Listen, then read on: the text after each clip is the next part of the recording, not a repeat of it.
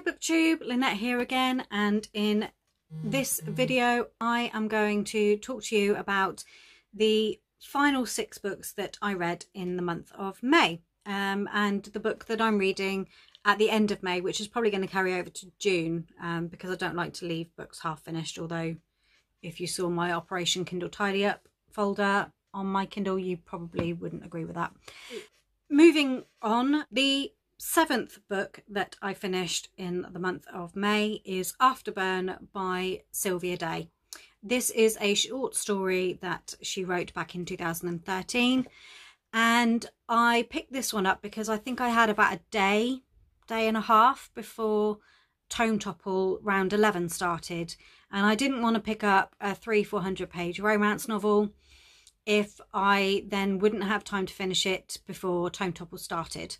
So I decided to go back and find the shortest book on my TBR um, that wasn't part of a series uh, that has been on there for quite a while. It is part of a duology, so um, but it's they're two short stories that make up the duology, so they do make one book. But I only read the first, and that was Afterburn. I gave this story three stars. This is about Jax and Gia. I knew what this story was about because a film independent film company called Passion Flicks made it into a short film a few years ago. Um, and they actually made the whole thing into one film, so Afterburn, Aftershock. Uh, but this is the first half.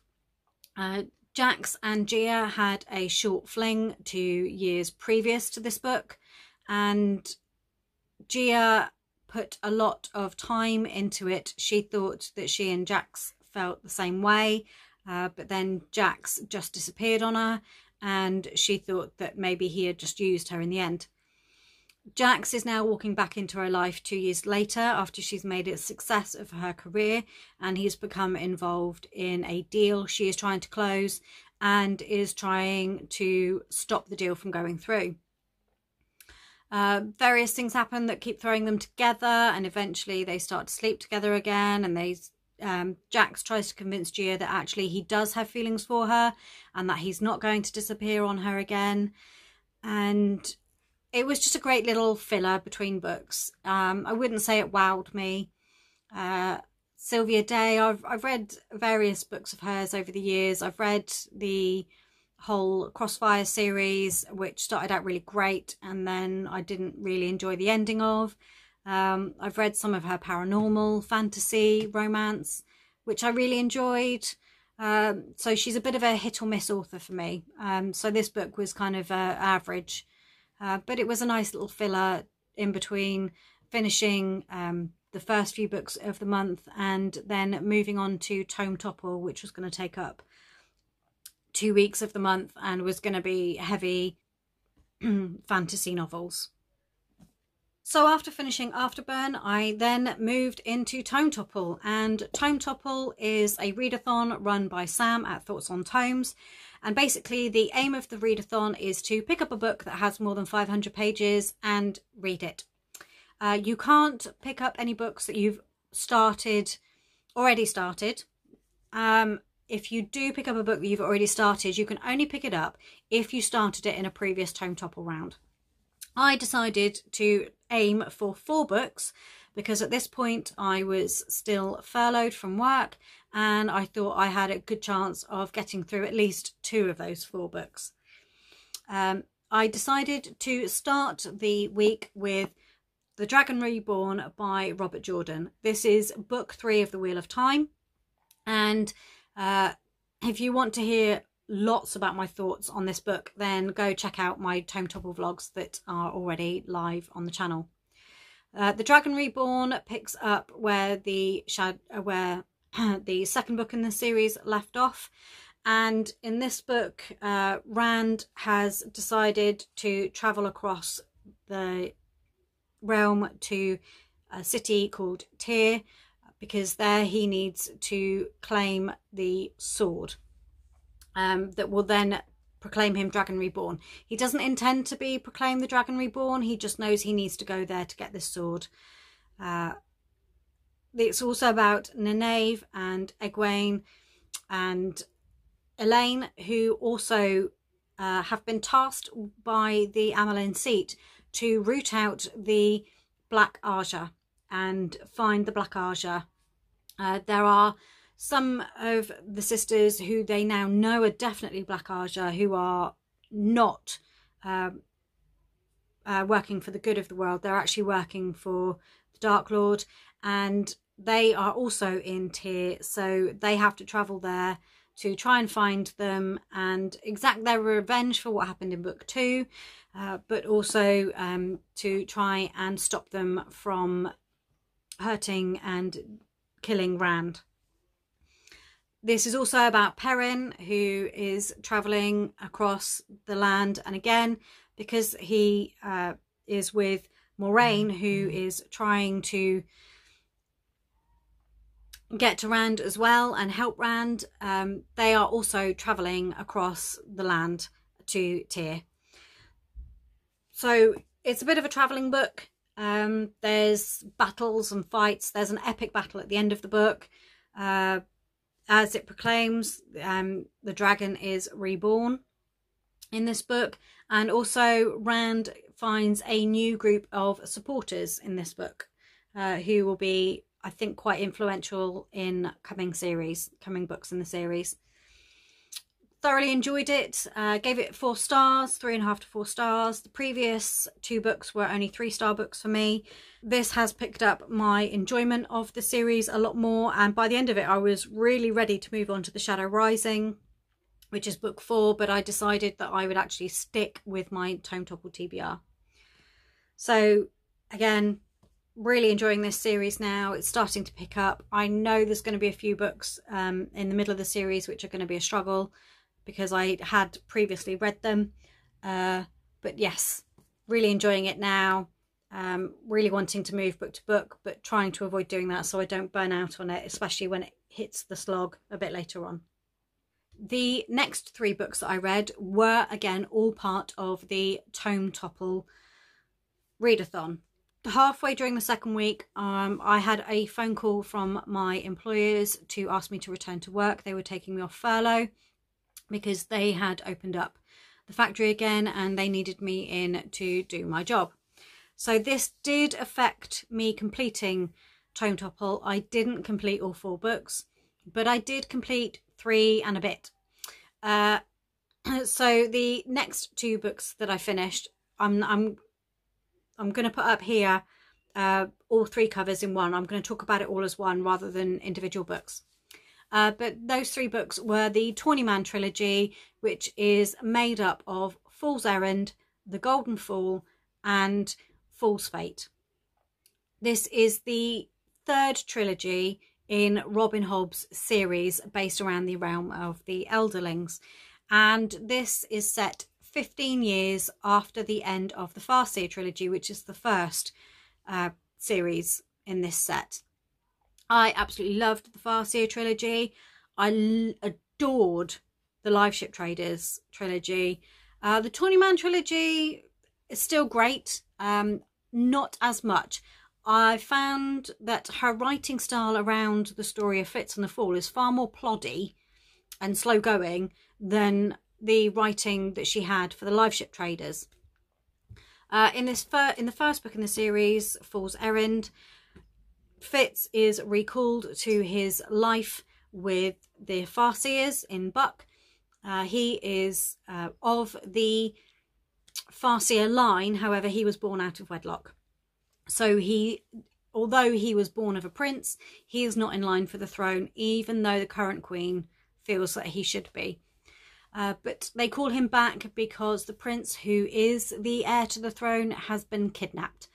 They need to keep it quiet from the nobles on in Buck uh, because otherwise they could get twitchy about it because to be honest about the reason why he's disappeared, they would have to reveal something about the prince, which would mean the nobles would turn on him. Uh, so Fitz is recalled and is put to work to find Prince Dutiful and bring him back to Buck. The Fool is there to help Fitz, and actually it is Fitz the Fool, Fitz and the Fool who set out to recall Prince Dutiful. In the process, uh, Prince Dutiful learns that Fitz is also of the Farseer line um, and also has a magic that is frowned upon, which is the reason why nobles would turn against them. He also knows the story. He knows that there was um, someone from the Farseer line who died because of this magic, um, in which was what one of the uh, stories during the first series of books around Fitz and the Fool. so by the end of the book, uh, Dutiful has been returned to Buck and has arrived just before his betrothed arrives from the Out Islands. And that's how book one finishes.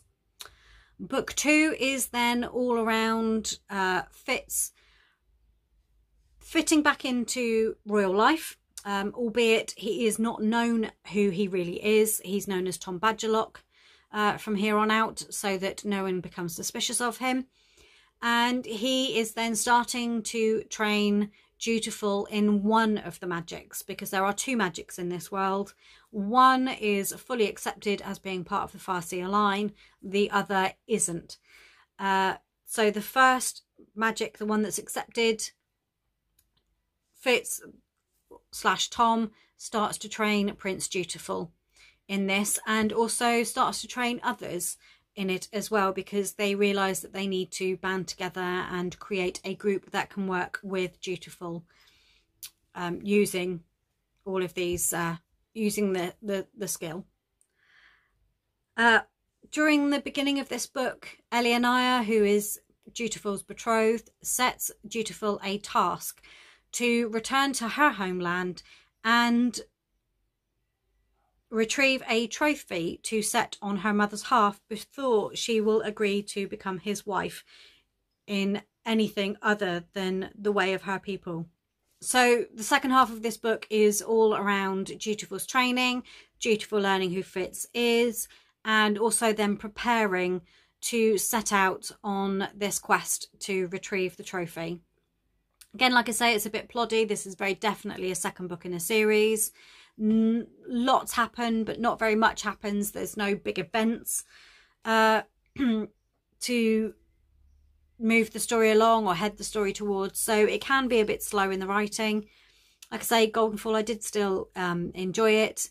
And once I'd actually got to the end of it, I was actually ready to finish the series and move on to Fool's Fate. By the time I started Fool's Fate, unfortunately, I was starting back at work, which reduced down my reading time greatly. So unfortunately, although I managed to get about 200, 250 pages into Fool's Fate, I didn't manage to complete it by the end of Tome Topple because I only had a few hours reading time left. So in Fool's Fate, we then set out on the quest to retrieve the trophy that Dutiful has to present to uh, Elliania's mother's house. There is also uh, something going on, more going on with Elliania's family. Uh, so Fitz and Chade, who is his old mentor from when he was a boy, uh, are trying to solve and figure out. Um, also, the Fitz has betrayed the Fool and unfortunately Eventually, he the fool catches up with them. He finds a way to be where he needs to be. And like I say, this book is all about Fool's fate. Uh, they do carry out the quest and there is a big battle and this happens right in the middle of the book. Um, so it does lead up to that quite nicely and you do have this big event happening right in the middle of the book and then you're left wondering where it's going to go next. Basically, it's how Fitz and the Fool move on. Um, the Fool is actually a prophet who has seen elements of the future, but the prophecies that he's seen only take him up to the actual ending of the quest. Beyond that, he has no sight. So he decides that he will not return to Buckkeep with Fitz. He is going to return to the place of his birth and the school where he learned his prophecies and see where that takes him in future. Uh, and this takes some convincing. and fortunately Fitz has an event where he's using some stones to travel between where the fool is and Buckkeep, and unfortunately, he gets waylaid and is lost. Um, is eventually refound, but it's after the fool has moved on.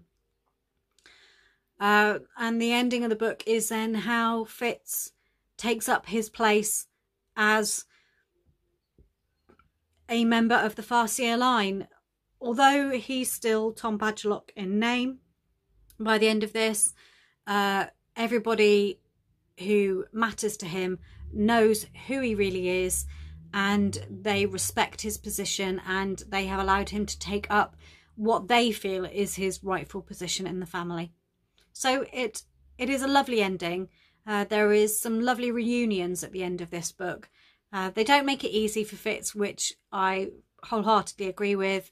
Um, but yes, it does end on a happier note for him than the Farseer trilogy did.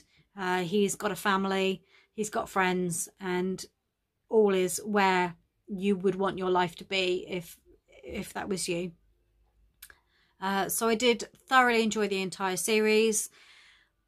The next set is actually a quadrilogy, and that is the Rain Rainwilds Chronicles. I won't be moving on to those straight away. These are ones I'm a little bit afraid of because they were the books I was trying to read while I was in a huge slump back in 2010 and didn't really get very far with. So they are a bit intimidating to me. So I'm not moving on with the overarching series right now. I have left it um, at the ending of the Tawny Man trilogy and I will just see when the mood strikes me to pick those books up. So the final book that I've completed in the month of May, book number 12, is Eidolon by Grace Draven. This is the second book in her Wraith King series, and this was the last book of Romanceopoly that I'd set myself to read for May. And the square I had landed on for this was Journey's End, and the theme was to read a book where the main character is a magic user. I read the first book in this series quite a few years ago now. I don't know why I've left it so long to read the second book. Um, I didn't really need to reread the first book. I picked it up quite well. This book is about Brishen, who is a member of the Kai race, and they are a race who only, um, they're not vampires, but they are awake at night. The makeup of their bodies is such that they have these bright yellow eyes, which are very sensitive to sunlight. So they are awake and do what they do during the night hours of night and it's about his bride Ildiko, who is human. So obviously she's used to doing things during daylight. Uh, in the first book, it was about their relationship, their marriage, and how they come together. And also, uh, I think she was kidnapped in the first one, and it was about her rescue and about her accepting her future. And so in this book, she is quite firmly um, the Princess of Saggara, which is where Brishen lives and operates. And she's accepted by the nobles in Saggara and she has turned herself around so that she operates during the same hours as the Kai. Right at the beginning of this book, there is a catastrophic event, which means that the majority of the residents of the main city of the Kai are wiped out and the refugees are left fleeing from for their lives towards Saggara where Brishen and Ildiko is. Unfortunately, this has also wiped out the entire royal family, which means that Brishen, uh, to all intents and purposes, is now the ruler of the Kai people. The evil that has been unleashed on the land needs Brishen to use magic to defeat them. Uh, so it's about how he uses this magic, uh, it's at great danger to himself and to all his people, and also means that Ildiko is again in danger. Uh, however, she's got a lot more sense around her now, and people who love her and will protect her. Uh, so it does work slightly differently.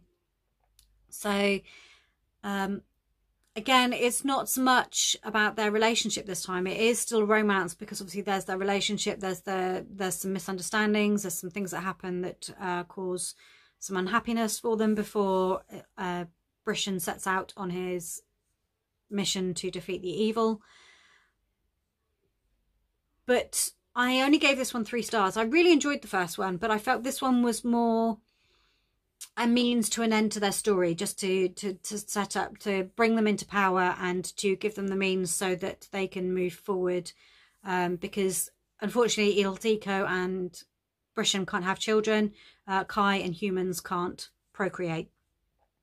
Uh, so it's how they bring a child into their life and and all that sort of and i just felt that it, it it was just written to bring that in i think probably she could have left the first series as it was uh, first book as it was and not written a second book about them um, but yes so i did enjoy it was a great last book to finish um, I don't think I'll be moving on to the third book in the series, even though it follows different characters this time. So that was all the books I've completed. I do have one book on the go that I am reading, and that is The Glass Wall by Madison Adler. Uh, this is a young adult fantasy romance, and it's set in an Earth-like, uh, set on Earth, and uh, I think there are aliens um, and that involved. I'm about 100 pages, I'm about a third of the way through it, so you'd think I'd be able to tell you a bit more about it. Um, but yes, uh, not a lot has happened to start with. Uh, we've met the main male character, we've met the main female character, we've met the male, main male character, and I've got a very Twilight feel about this book. Um, let's put it that way. It reads like someone is rewriting Twilight, but with aliens instead of vampires. Um, that's not to say that I'm not enjoying it. I am enjoying it. Um, but again, it's a pick up and leave book. I don't think it will be a wow book. I'm not sure because it's the first book in the series. I'm not sure if I'm going to continue the series after I finish this. Certainly, I won't be moving on to the next book in the series because I shall want to get on with my May TBR. Uh, not my May TBR, get on with my June TBR rather. Uh, but it's just filling in a gap in time between finishing my actual May TBR and moving into the month of June. Not sure I'll finish it. Today is actually the last day of May, um, so I'm not sure if I'll finish it today or not, um, or whether it may take me another day or so to finish it after this. Uh, but yes, I'd much rather be reading my June TBR than this one. So that was it. That's the 12 books um, that I have read in the month of May. I don't think I'm going to have such good reading months from now on. I certainly don't think I can manage 10 plus books a month um, as I have done for the last couple of months. I'm back at work now, which means that the only real reading hours I've got are at weekends. Um, I do get a couple of evenings a week to read, but uh, again, um, it's not a lot of reading time. Uh, so yes, I'm not going to be moving through books quite as quickly as I have in May and April. Let me know what you all managed to read in May. Did you take part in Tome Topple? Uh, if you did, let me know how you got on down below. Did you manage to finish a book or did you just manage to read books that had 500 pages or more? Uh, let me know. I hope you liked this video. If you did, please like and subscribe and I will speak to you all again soon. Bye.